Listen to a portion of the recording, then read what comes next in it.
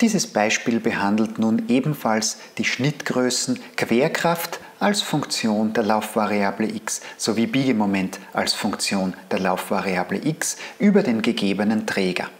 Die Belastung ist hier diese eingezeichnete Streckenlast, welche mit 2Q0 startet und dann linear auf einen Wert von 3Q0 ansteigt. Die Trägerlänge 4L ist natürlich bekannt, sowie der Wert Q0 für die Streckenlast. Das Koordinatensystem ist das bereits besprochene übliche Koordinatensystem für Schnittgrößen. Die Ableitung der Querkraft nach der Laufvariable x ist die negative Streckenlast. Das ist eine Differentialgleichung für die Schnittgrößen. Und die Ableitung des Schnittmomentes als Funktion von x nach x ist die Querkraft. Das ist das zweite. Die zwei sollte man wissen. Und natürlich gilt die Umkehrung, dass q von x das negative Integral über die Streckenlast und dx ist und auch für das untere. Koordinatensystem wie gehabt.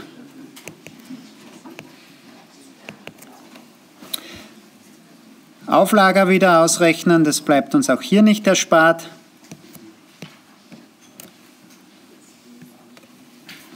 Das Freikörperbild A ist wieder ein zweiwertiges Lager, AZ und AX. Und B ist einwertig, Loslager, BZ gibt es da nur.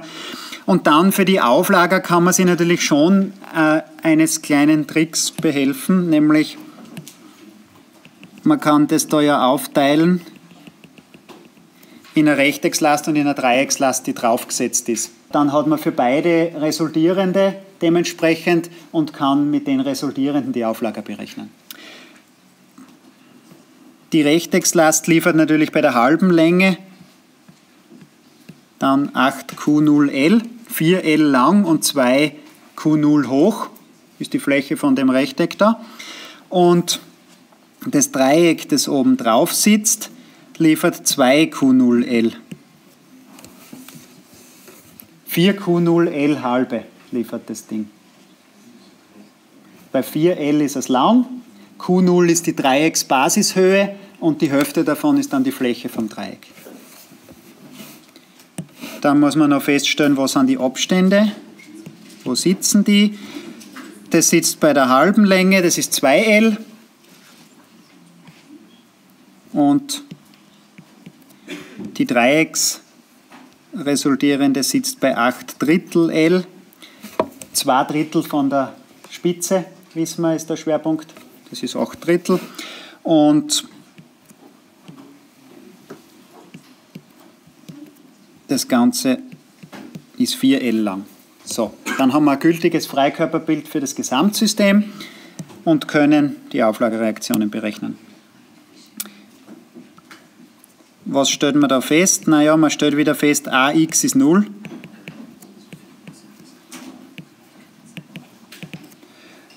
Man stellt fest, minus AZ plus 8Q0L plus 2Q0L minus BZ ist 0. Und wenn man um A dreht, positiv wieder gegen den Uhrzeigersinn, dann haben wir minus 8Q0L mal 2L minus 2Q0L mal 8 Drittel L und plus BZ mal 4L. Das sind unsere drei Gleichungen. Und dann, das da oben war 1, das ist 2, das ist 3. Und dann kann man aus der dritten sofort das BZ berechnen. Alles andere ist da drinnen bekannt.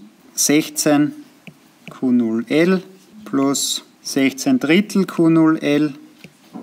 Warum nur L? Naja, weil ich durch AL schon durchdividiert habe. Mal ein Viertel kommt, bleibt dann noch vom BZ über.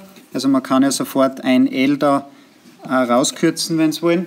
Deswegen bleibt da nur L drinnen. Was auch sinnvoll ist, Streckenlast ist ja eine Kraft pro Länge, mal Länge ist eine Kraft.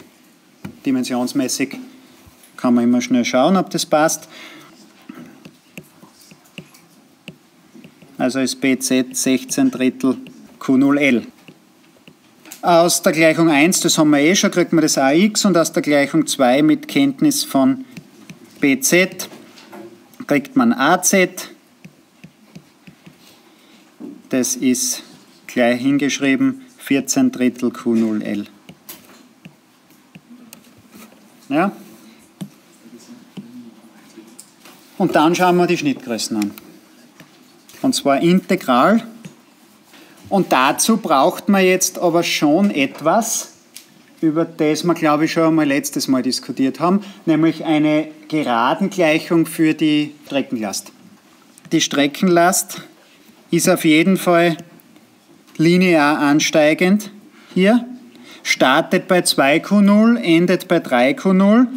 Das heißt, man kennt die Länge, man kennt die Differenzhöhe, also kennt man die Steigung äh, und man weiß den Offset-Wert sozusagen bei 0, nämlich das 2Q0, das ist in, in der geraden Gleichung unser D.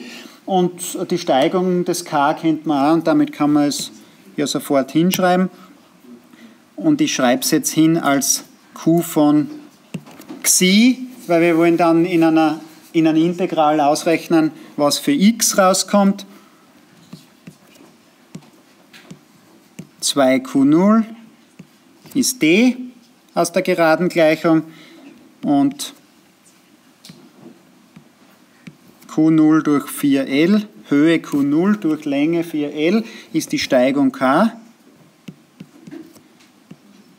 mal xi, wo man halt gerade sitzt mit, unserem, mit der Laufvariable. Diese äh, interimsmäßige Laufvariable xi ist nur deswegen, dass wir dann nicht über x integrieren von der Grenze 0 bis x, weil das darf man nicht, wie wir wissen. Xi ist aus dem Bereich 0 bis 4L, also über die Trägerlänge. Wenn man da einen beliebigen Bereich rausschneidet, So, von links x. Dann haben wir hier das AZ. Das AX war zwar schon 0, schreiben wir aber trotzdem noch her. Und hier 2Q0 für die Streckenlast. Dann ist jetzt an der Stelle das Q ein Q von, das Q von Xi an der Stelle Xi ist gleich x in dem Fall jetzt.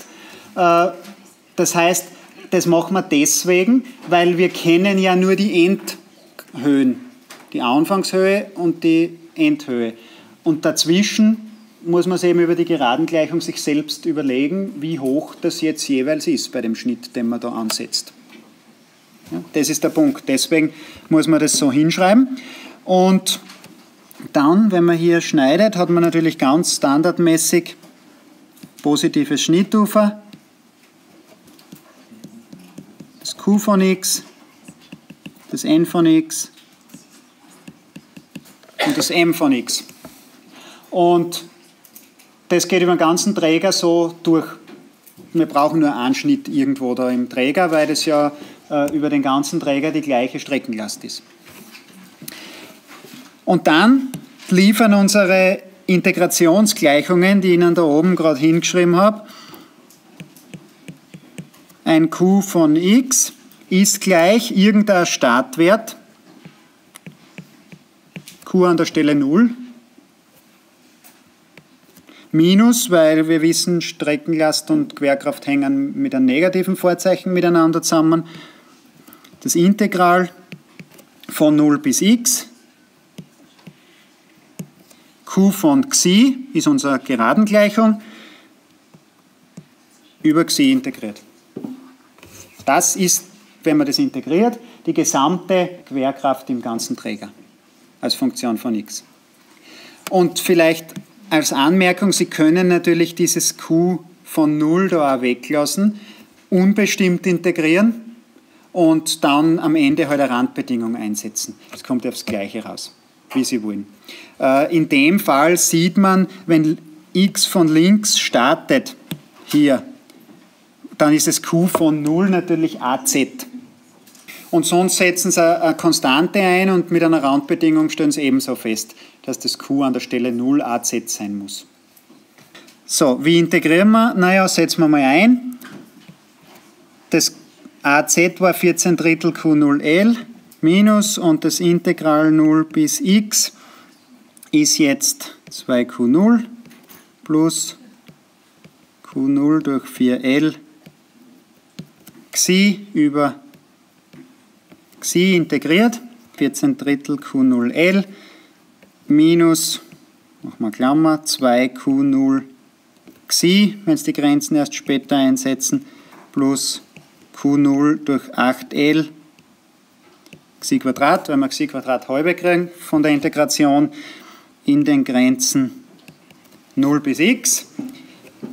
Und wenn es die Grenzen einsetzen, dann ist das q von x, q0, 14 Drittel L kommt aus dem AZ, minus 2x mal q0, das haben wir vorne rausgezogen, äh, minus x durch 8L mal Q0 steht wieder vorne draußen. So, und so kann man jede beliebige Streckenlast integrieren. Und das gleiche geht fürs Moment. Das m von x ist 0 bis x wieder. Ähm, natürlich im Prinzip m0, aber dort wissen wir schon von Anfang an, da gibt es kein m0. m0 ist 0. Dann machen wir aus dem q ein q von xi, also ersetzt einfach die x durch xi oder sind, schreiben halt x tilde oder so. Ähm, dxi, also das Integral von 0 bis x, q0, 14 Drittel L minus 2 xi minus xi Quadrat durch 8L, also einfach hier von oben eingesetzt. Integrieren. Lassen wir es gleich beieinander alles. Q0 14 Drittel L Xi minus Xi Quadrat, 2 halbe bleibt über, kürzt sie weg, minus Xi der dritten durch 24L von dem Drittel. Zwischen den Grenzen 0 und x. Und dann nach Einsetzen der Grenzen hat man das die Funktion fürs m von x, die nämlich lautet q0 14 Drittel lx minus x Quadrat minus x der dritten durch 24 L. Und auch hier wieder äh, Einheitencheck quadratisch in der Länge, mal Q0 ist das Moment, äh, und oben bei der Querkraft linear in der Länge und Q0 ist die Kraft von den Einheiten her.